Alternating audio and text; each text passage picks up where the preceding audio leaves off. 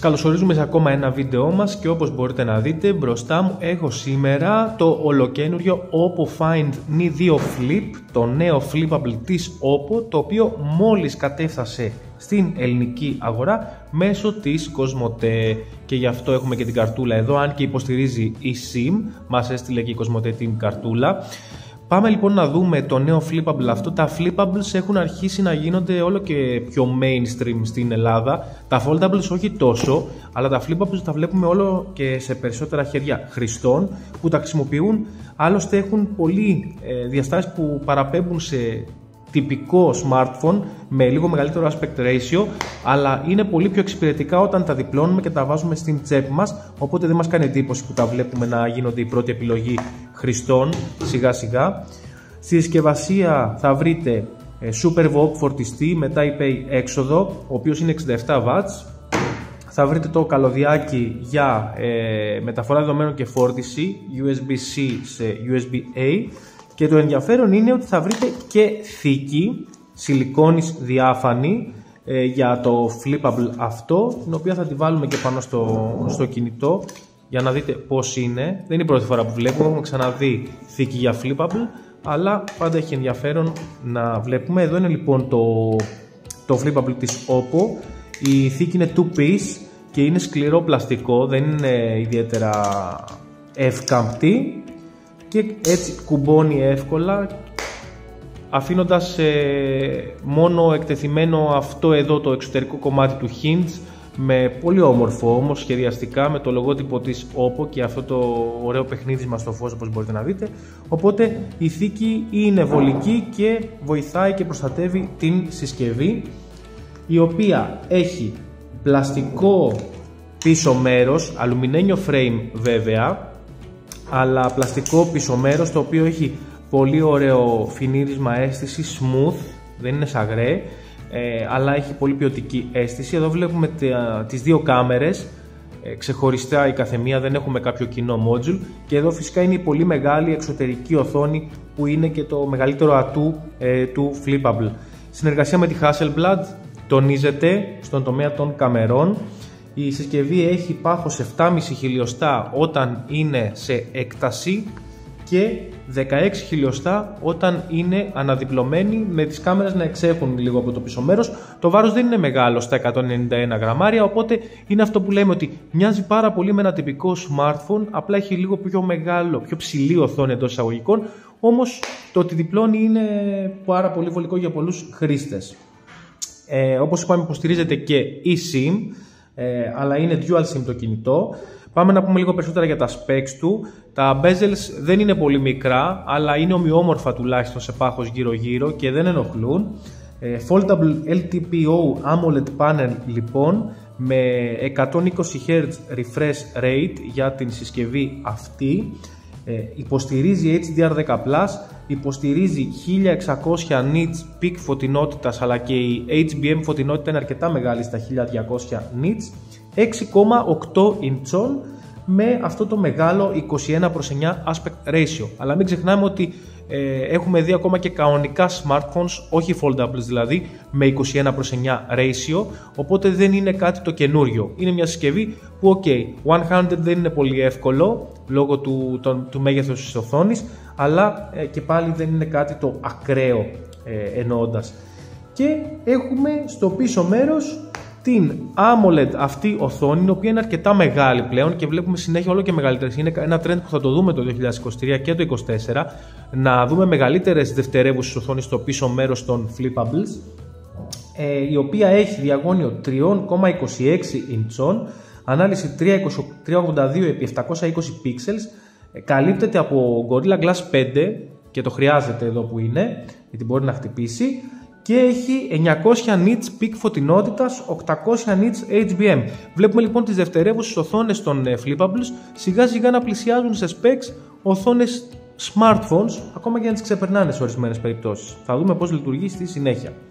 Android 13 με Color OS 13, το interface της OPPO.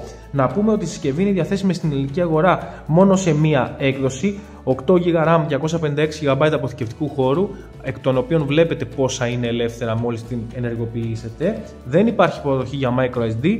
Για τη RAM όμως μπορείτε να κάνετε επέκταση virtual RAM μέχρι και στα 8, από τα 4 μέχρι και τα 8 GB αν το θέλετε.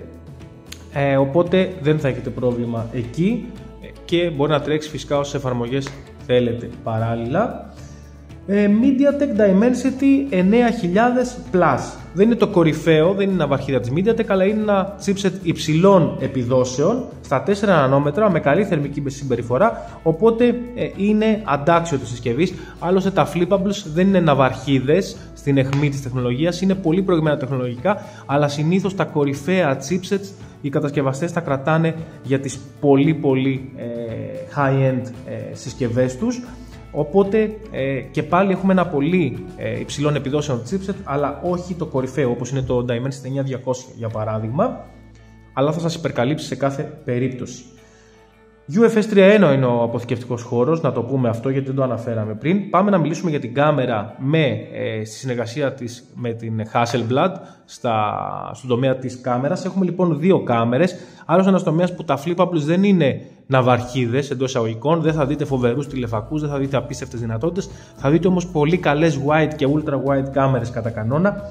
50 MP λοιπόν ο κύριος αισθητήρας με multi-directional face detection autofocus και διάφραγμα φακού 1.8 και έχουμε και μία 8 MP ultra wide κάμερα 112 μοιρών. Υποστηρίζεται HDR, υποστηρίζεται λήψη βίντεο 4K στα 30 fps και 1080p στα 240 fps και έχουμε και μια selfie κάμερα εδώ σε whole notch πάνω στην οθόνη η οποία είναι 32 MP, αρκετά μεγάλος ο αισθητήρας με autofocus, υποστήριξη HDR και πανοράμα. Οπότε είναι κάμερες που θα καλύψουν άνετα την τυπική χρήση. Δεν είναι κάμερες που θα σας προσφέρουν τις κορυφαίες λήψεις φωτογραφιών και βίντεο, αλλά είπαμε τα flippables είναι ουσιαστικά high-end τηλέφωνα, αλλά σε flippable μορφή, ε, σε ένα λίγο πιο λογικό κόστος. Στέρεο ηχεία, δεν έχουμε audio jack, στο κάτω μέρος βλέπετε την Type-C θύρα, το SIM tray, έξοδο ήχου, στο πλάι έχουμε το Power Lock button ε, και το volume button. Το power lock button είναι και αισθητήρα δακτυλικών αποτυπωμάτων ταυτόχρονα. Εδώ μπορείτε να δείτε κάποιες άλλες λεπτομέρειες για την κατασκευή. Το hinge μας προσφέρει καλή αίσθηση. Εδώ μπορείτε να δείτε περίπου μέχρι ποια γωνία θα μείνει ανοιχτή η συσκευή και από ποια, ποια γωνία και πέρα ε, αρχίζει να φεύγει μόνη της. Εδώ ήταν το όριο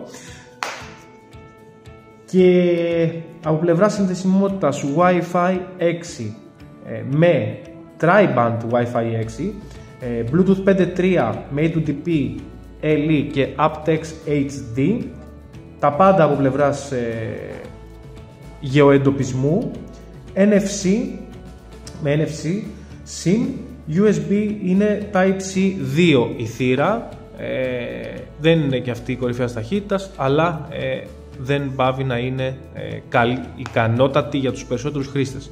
Εδώ μπορείτε να δείτε λοιπόν και την εξωτερική οθόνη πώς γυρνάει ανάλογα με το πώς γυρνάμε τη συσκευή και πόσο γρήγορα και smooth γίνεται αυτό. Ε, να πούμε ότι εδώ νιώθουμε λίγο την οθόνη, νιώθουμε αυτό το σκαλοπατάκι περνώντας από την, ε, από την πλάτη της συσκευής στην οθόνη. Είναι ελάχιστα υπερυψωμένο το κρίσταλο, το Gorilla Glass 5. Εδώ θα δείτε πώς λειτουργεί λοιπόν μπορούμε να ε, πάμε να χρησιμοποιήσουμε τα widgets όπου βλέπετε τον καιρό, βλέπετε τις δραστηριότητες σας στη φυσική δραστηριότητα, μπορείτε να ενεργοποιήσετε τις κάμερες. Εδώ με swipe down έχουμε quick toggles όπως έχουμε σε οποιοδήποτε smartphone. Ακόμα και ο φακός εδώ που μόλις τον πατήσουμε ενεργοποιείται μετά από 3 δευτερόλεπτα για να μην σας τυφλώσει. Κάτι έξυπνο αλλά αναμενόμενο. Και ε, τα notifications με swipe up. Γενικά υπάρχουν widgets, θα υπάρξουν ακόμα περισσότερα, υπάρχουν θέσεις εδώ βλέπετε το calendar, εδώ βλέπετε ε, κάποια timers που μπορείτε να έχετε χρονοδιακόπτη. Γενικά όσο μεγαλώνει η οθόνη μεγαλώνουν και οι επιλογές στο πόσες εφαρμογές μπορούν να χρησιμοποιηθούν σε ένα τέτοιο μέγεθος και να υπάρξουν widgets για αυτές αλλά φυσικά πρέπει να υπάρξουν και τα widgets κάτι το οποίο θα γίνεται εν καιρό. Να πούμε επίσης ότι η συσκευή στην Ελλάδα θα είναι διαθέσιμη σε δύο χρώματα. Στο μαύρο που κρατάω στα χέρια μου, Astral Black και στο Moonlit Purple, το mauve, που σίγουρα θα είναι πολύ όμορφο. Και κλείνουμε με την αυτονομία.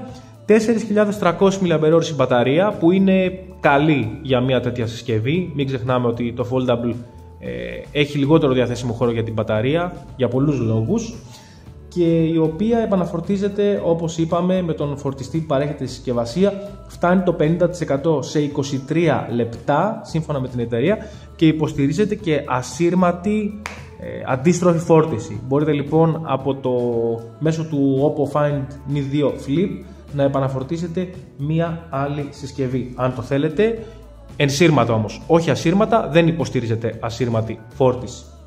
Αυτό είναι λοιπόν το Oppo Find Mi 2 Flip διαθέσιμο και στην ελληνική αγορά μέσω της Cosmote στα 999 ευρώ αυτή τη στιγμή. Subscribe στο κανάλι μας στο YouTube για περισσότερα βίντεο τεχνολογίας.